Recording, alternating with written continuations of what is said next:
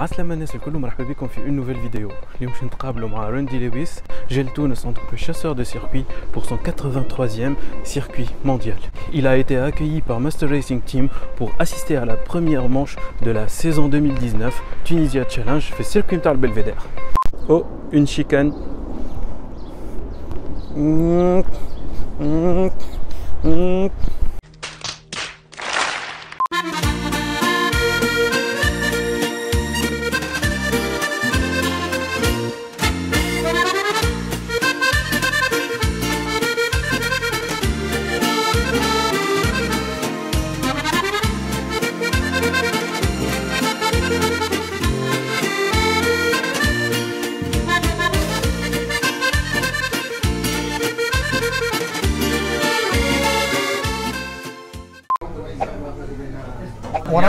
Is something called track chasing. Is the idea of traveling the world and also within the United States and trying to see as many racetracks as I possibly can. But a lot of people, when they hear that, they think that my hobby's about racing only, and that couldn't be further from the truth. It's really about three things. One of which is racing. Secondly, it's about meeting people and seeing the local sites of the locations that I visit. And um, it's especially fun and interesting and intriguing uh, to go to foreign countries because oftentimes foreign countries, the culture is much different than the United States, the people are different, the seats, uh, the signs that I will see are different.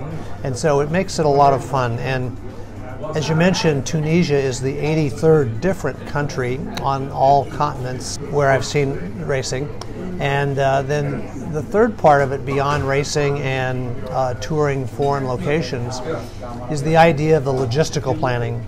It takes uh, quite a bit of preparation to figure out how to make a trip uh, from the United States to some faraway location. Normally, I have to uh, develop a relationship, usually online, with some people who live locally, and they can tell me uh, the details of the trip will be. When will the race be? Where will the race be? And I just don't come to a foreign country to see one race for a few hours. I come for usually about a week or so, which is what I did in Tunisia. I was there for six or seven days, met all kinds of people. I was able to eat in the homes of uh, people who live locally and, uh, and do sightseeing all day with local people.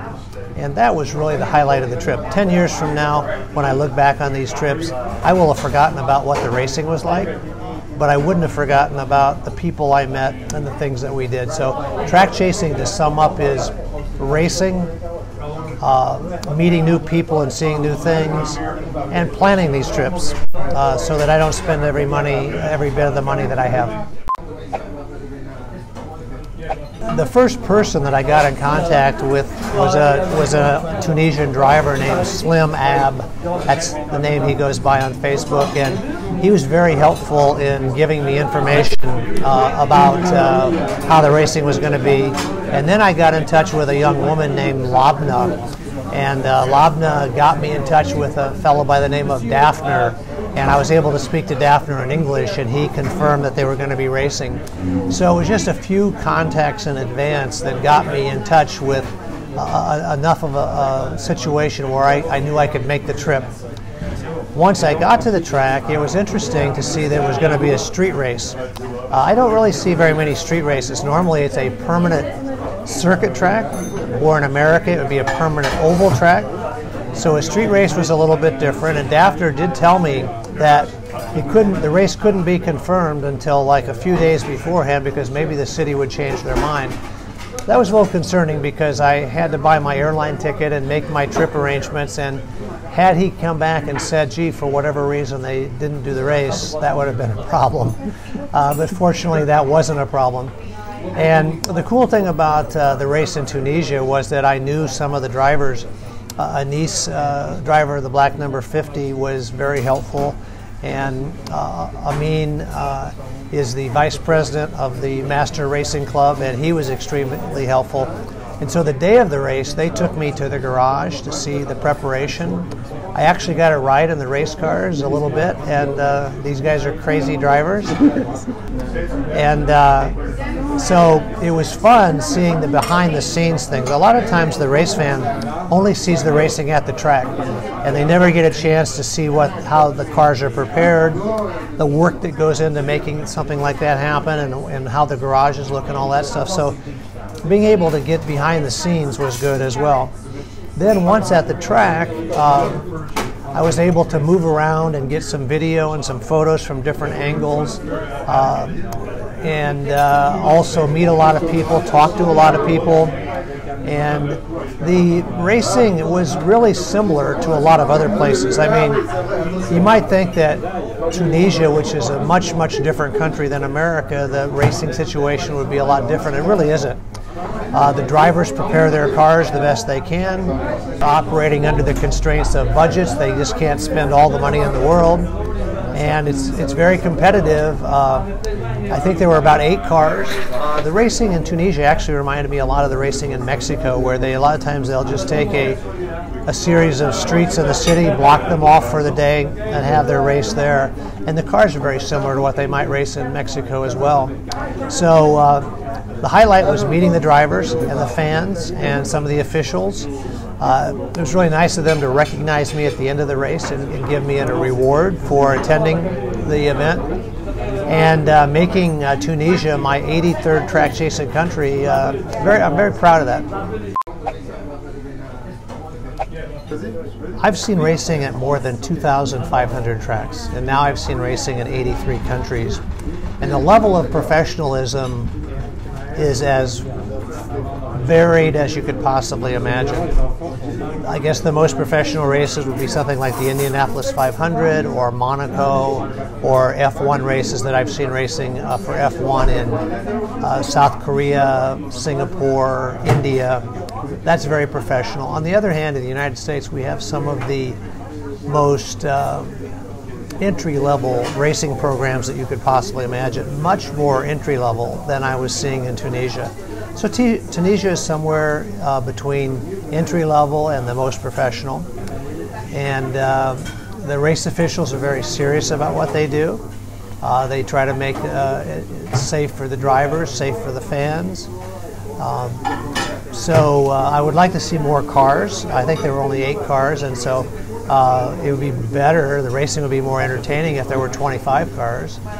Um, but uh, of all of the countries where I've seen racing, I would say the Tunisia racing was uh, interesting and um, diverse, uh, it was just fun to actually see a race here uh, because Tunisia is very much off the beaten path for American tourists. Uh, there are not a lot of Americans who tour Tunisia. It's in Africa. Not a lot of Americans go to Africa of any country whatsoever. So, uh, at least what I was doing when I came to Tunisia was pretty unusual for Americans. I do rank the countries, and I have a category called Best. Uh, best is the top category. Uh, you cannot get better than best. Uh, but it doesn't mean that only one country or one group can be in that category. There are several in that category. And I did a little survey last night, and I determined that there are about 20 or 22 of my 83 countries that rank in the best category. And I put Tunisia in that category as well. So they rank in the best group. But it isn't really just for the racing. Uh, it's really for the people I met, the quality of the people I met, who uh, invited me into their homes to meet their family, their wives, their daughters. Uh, they gave me meals inside their homes. They took the time out of their busy day to, to take me around and tour some of the highlights of, of the country. Um, so Tunisia gets a best ranking for the people, and the racing is good, and uh, the logistics of getting there uh, were doable. It was it was a 12-hour flight from Los Angeles to Rome, and then another two-hour flight roughly from Rome to Tunis. So it was a long trip, but I was there for five days. So they get a best category ranking for the people more so than anything else. A highlight of my trip was to be able to go out to the new racetrack and see that development. I think it's called Tunisia First Club. I actually spent two hours with the owner of the project. and learned all about how he's building it. And I was with their construction manager. And so the construction manager spoke both Arabic and English. And so for two hours, he translated our conversation back and forth. And uh, he told me that I could call the owner Lutzi. I hope I, I have that right. Uh, so that was a highlight. And uh, the hotel stay was perfect. I, I, had a beautiful room at the, at the Sheraton Hotel. Uh, Slim organized the guys to come out and pick me up at the airport. That's very special. And then they gave me a phone, one of their phones, so I could stay in contact with them. And um, then Amin and I went out and uh, drank beers together and uh, did a bunch of things. He was actually wearing a Chicago Cubs hat, which is pretty cool. You don't see that very often. So. Uh, I didn't know what to expect because I had a little bit of a difficult time initially when I was back home getting enough communication in English to convince me I could make the trip. Because we did I couldn't really figure out for sure when the race was going to be, what kind of race it was going to be. And so I will say this, the trip exceeded my expectations because once I got on the ground, everybody was there to make sure that uh, I was going to have a good time. So uh, the trip exceeded my expectations. After the trip was finished, I put Tunisia in the best category, and uh, I don't know how it could be any better than that. So, yeah. thank you. Okay.